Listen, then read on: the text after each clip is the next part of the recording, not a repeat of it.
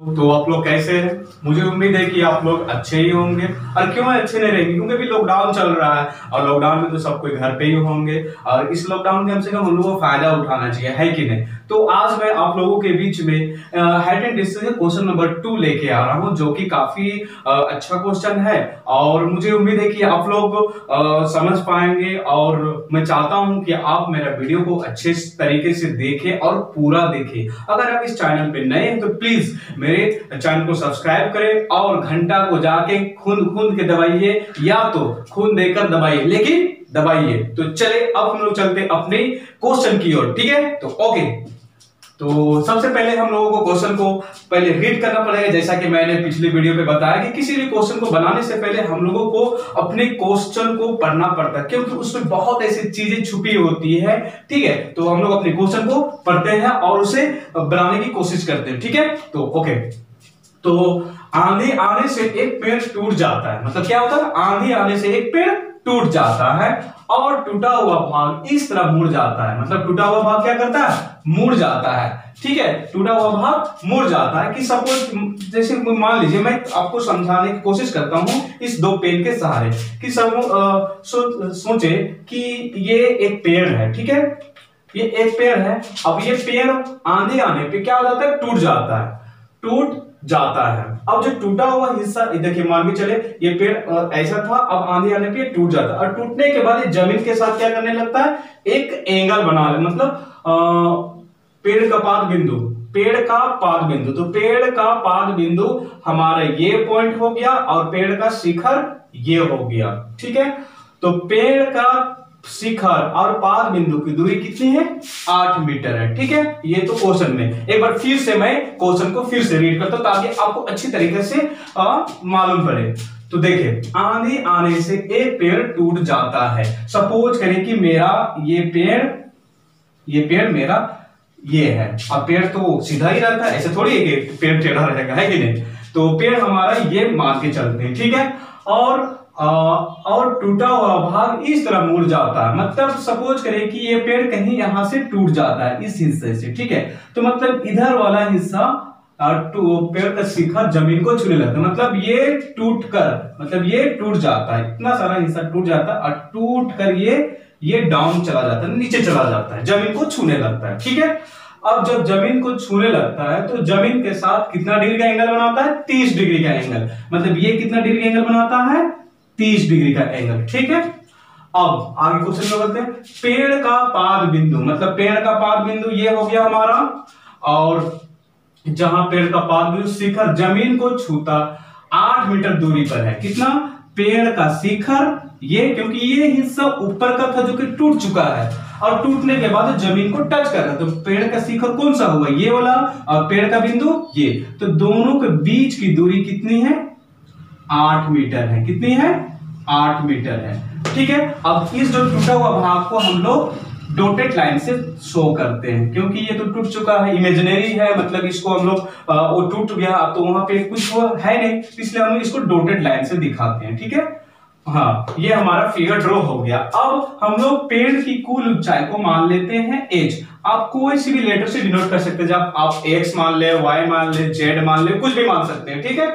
और ये जो टूटा बचा हुआ भाग को उसको मान लेते हैं एक्स और ये टूटा हुआ हिस्सा को मान लेते हैं y, ठीक है? अब ये हमारे एक तरह का समकोण त्रिभुज बन गया तो इस समकोण त्रिभुज का नाम दे देते हैं ए बी सी। ये हमारा फिगर तैयार है।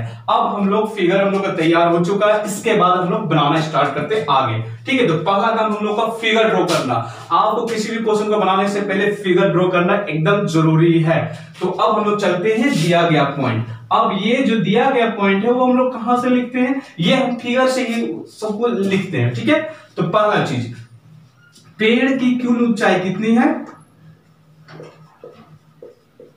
पेड़ की कुल ऊंचाई एच मीटर है। कितना? क्योंकि हमको नहीं मालूम तो उसको क्या मान लिए? एच मान लिए।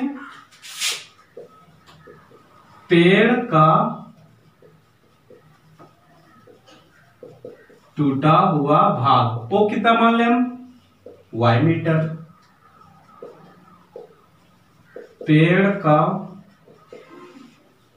बचा हुआ भाग, वो हम मान लेते हैं एक्स मीटर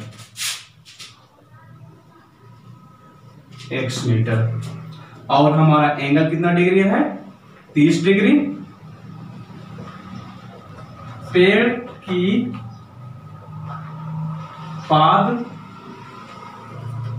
बिंदु से शिखर की दूरी आठ मीटर है। इस तरह से हमने अपने सारे गिवन पॉइंट को लिख दिया लिख दिया, जिसमें से हमारा पेड़ का कुल ऊंचाई एच मीटर है, पेड़ का टूटा हुआ भाग वाई मीटर है, पेड़ का बचा हुआ भाग एक्स मीटर है, और एंगल हमारा थर्टी डिग्री है। और पेड़ का पाद बिंदु से शिखर की दूरी आठ मीटर है। इस तरीके से हमने सब कुछ गिवेन पॉइंट लिख दिया। अब हमारे पास स्पेस नहीं है बोर्ड में तो इस वजह से हम लोगों को अब ऊपर की लिखा हुआ क्वेश्चन को हटाना पड़ेगा और ये फिगर को ऊपर ड्रॉ करना पड़ेगा। ठीक है? तो हम लोग अब चलते हैं। फिगर को ऊपर ड्रॉ करेंगे।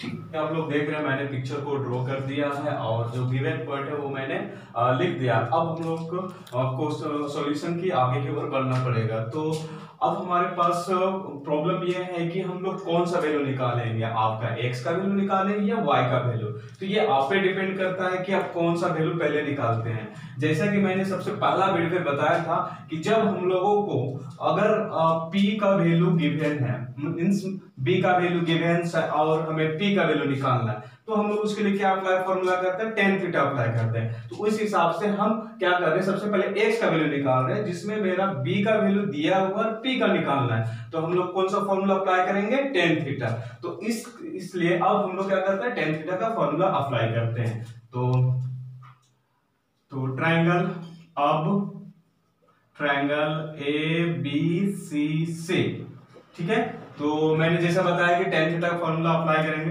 तो tan theta is equal to P by B ठीक है? अब टेन हमारा थीटा कितना डिग्री का एंगल है? थर्टी डिग्री का एंगल है तो मैंने थर्टी डिग्री लिख दिया। अब आगे देखिए, P हमारा कितना है? P हमारा कुछ नहीं दिया मतलब x मान के चले, और B हमारा कितना है? आठ है।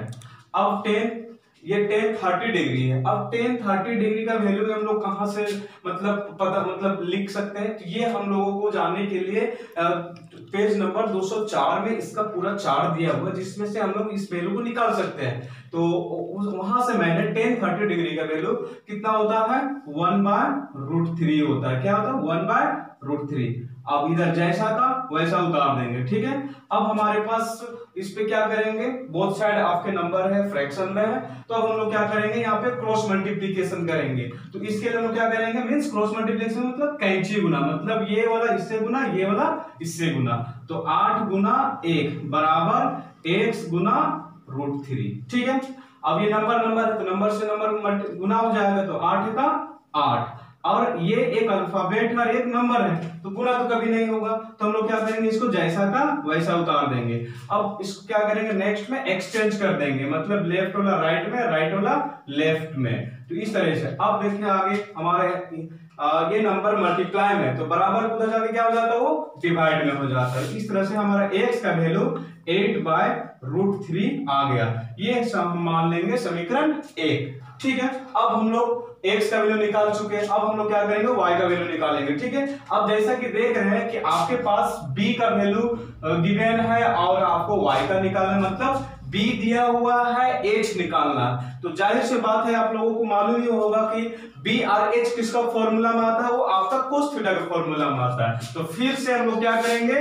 ट्राइंगल लेंगे। फिर से ट्राइंगल ए बी सी से कौन सा फॉर्मूला इस बार अप्लाई करेंगे? कोस थीटा अप्लाई करेंगे। क्या? कोस थीटा तो cos theta is equal to क्या होता है? बी बाय एच होता है। ठीक है? कोस हमारा एंगल भी कितना होगा इस बार होगा? 30 डिग्री तो 30 डिग्री मैंने लिख दिया।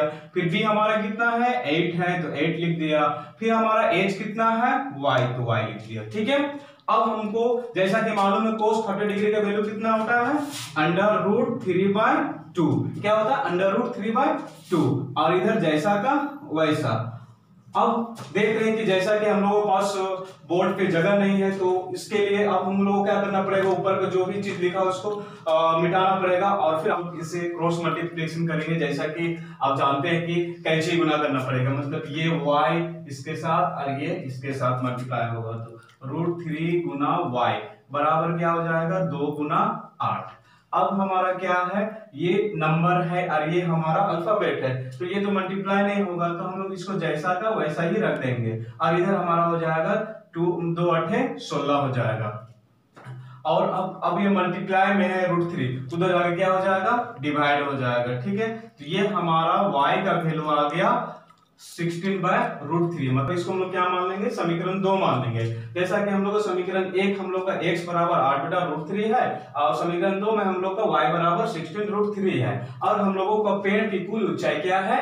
h है, जहाँ पे ये हमारा y टूटा हुआ भाग है और ये बचा हुआ भाग है। अगर हम लोग इस दोनों दोनों वैल्यू को अगर जोड़ देंगे तो हम लोगों को पेड़ की कुल ऊंचाई निकल जाएगा। तो इस तरह से हम लोग क्या करेंगे? समीकरण एक और समीकरण दो को जोड़ना पड़ेगा। ठीक है? तो चले। तो समीकरण समीकरण एक तथा दो को जोड़ने पर।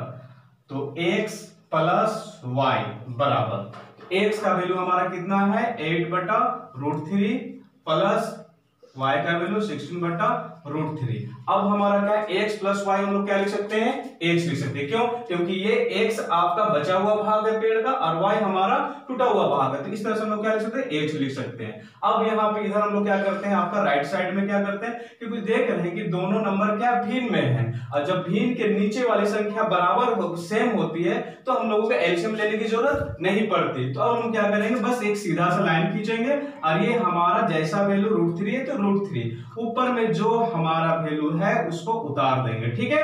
अब देख रहे हैं कि आठ प्लस सोलह कितना हो जाता है? चौबीस बट्टा रूट थ्री ठीक है? ये हमारा आंसर यहाँ आ गया बट यहाँ पे आंसर हम लोग को फाइनली नहीं है। अब इसके बाद हमको क्या करना पड़ेगा? इसमें हम लोग को हरों का परिमयकरण करना पड़ेगा। तो चलिए चल करते हैं। तो हरों का परिमय करण करने पर मतलब क्या करना पड़ेगा?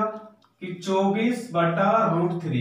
अब ये हरों का परिमयकरण क्या होता है? हरों का परिमयकरण का मतलब नीचे वाली जो संख्या होती है, वो हम लोग हर होता है ऊपर वाली संख्या जो हम लोग अंश होता है। तो इसके लिए हम लोग क्या करते हैं कि नीचे जो संख्या होती है, उसको ऊपर एक बार मल्टीप्लाई करते हैं, एक बार नीचे मल्टीप्लाई करते हैं। ठीक है? तो हम लोग करते हैं। रूट थ्री ऊपर में एक बार मल्टीप्लाई रूट थ्री नीचे में मल्टीप्लाई ठीक है? मैं इससे मिटा देता हूँ।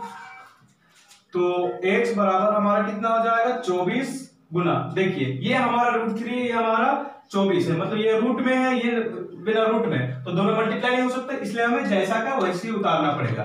बट नीचे वाले देख रहे हैं कि रूट थ्री गुना रूट थ्री है। मतलब जब रूट थ्री रूट वाले नंबर को जब हम लोग मल्टीप्लाई करते हैं और उसके अंदर में सेम नंबर होता है तो वो हमारा एक नंबर बाहर आ जाता। है इस तरीके से हमारा यहाँ थ्री आ गया। ठीक है?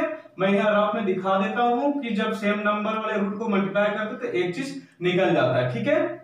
तो इस तरह से हमारा थ्री आ गया। अब थ्री से कट जाएगा थ्री तीन एक तीन तीन अठ चौबीस। तो ये हमारा आ गया आठ रूट थ्री ये हमारा फाइनल आंसर हो गया। इसे पेड़ की कुल ऊंचाई आठ रूट थ्री मीटर। ये हमारा आंसर आ गया। इस तरह से हमने इस क्वेश्चन को कंप्लीटली बना दिया। और मुझे उम्मीद है कि आप लोगों को ये वीडियो ये वीडियो पसंद आया होगा। अगर आपको ये वीडियो पसंद आया तो लाइक करें और अपने दोस्तों के बीच में ज़्यादा से ज़्यादा शेयर करें, ठीक है? तो और किसी भी तरह का डाउट अगर आपको लगता है तो आप कमेंट बॉक्स में जाके वहाँ पे कमेंट करें और मुझे बताएँ, ठीक है? ओके